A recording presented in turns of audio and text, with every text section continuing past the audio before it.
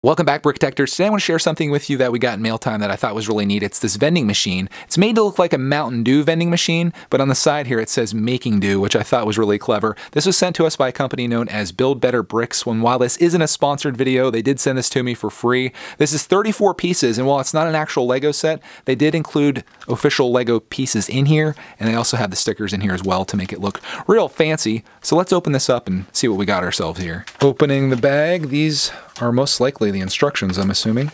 And looks like they did a decent job at laying this out how to build it. Looks fairly simple. There's five steps on the front and it goes up to 13 steps in the back, which the last step is just putting the stickers on. Let's look at these pieces. Not a very colorful set by any means, mostly black, but that's okay. That's what it's supposed to be. Like I mentioned earlier, these are official Lego pieces. These aren't knockoffs, so it's nice that they included Lego pieces in here as I drop them all over.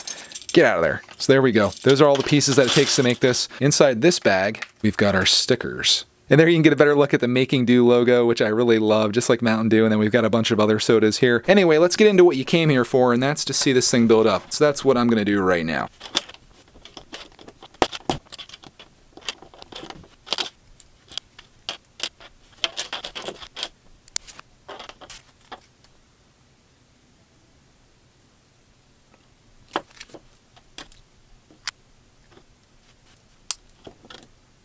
Just finished step 12. There's one step left, which is to put the stickers on this. And I'm a little taken back here because I do have one piece left over. And after looking back through the manual here, I don't see where I missed a piece. And the thing looks like it's fully completed. So maybe they just gave me an extra one, but I kind of got to the end and I was like, wait a minute. You start to question your life a little bit when you're given a 34 piece build and you mess that up. And I don't think I did though. I think this is an, truly an extra piece. So not too concerned about that. What I am concerned about are these stickers because these are the type of stickers that go completely across this build. I'll kind of show you what I'm talking about here. All these pieces here are about to be locked together when I put this sticker on. So this is going to be the only thing that I can really build out of this but I'm okay with that. You watch my channel, you know that I'm not a lover of stickers, but this is pretty essential to make this thing look realistic. There's the first side of Making Dew, and we're gonna put Making Dew on the other side here too.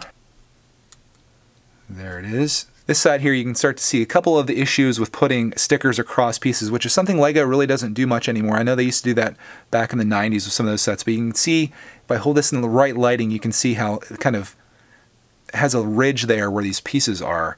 And if you don't look too close, you don't notice it, but it's there. One more sticker to put on, which is like the control panel in the front where you order your drink at, and that goes across this tile right here. And it's on and it's done. This is our Making Dew vending machine with the beautiful stickers on the side. Also love the sticker on the front.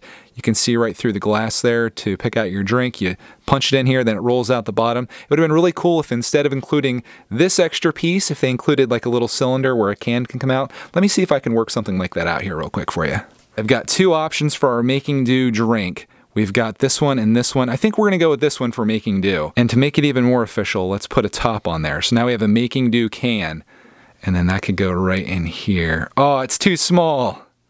Sugar Shack. That would have been really cool. But overall, pretty good build. Here's what it looks like from the top. Got some tile up there.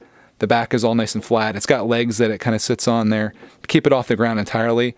And I do believe this is minifig scale. This is the little kid from the storybook that I have sitting around, and it looks really good with him. So now he's got a pretzel, and he's got some making dew. So that's it for today's build. If you enjoyed this video, let me know in the comments. Also in the comments, let me know which set you want to see next. I've got two more of these. The first one we have here is Dance Pants Revolution, which is like a DDR machine. I think that one's really neat. Or we could follow this one up with one that's very similar and we could build the stud machine. I'm leaning towards the Dance Pants Revolution just because it's a little different, but if there are some stud fans out there that want to see the stud machine built, I'd be happy to do that as well. So thank you guys so much for watching, and we'll see you in the next video.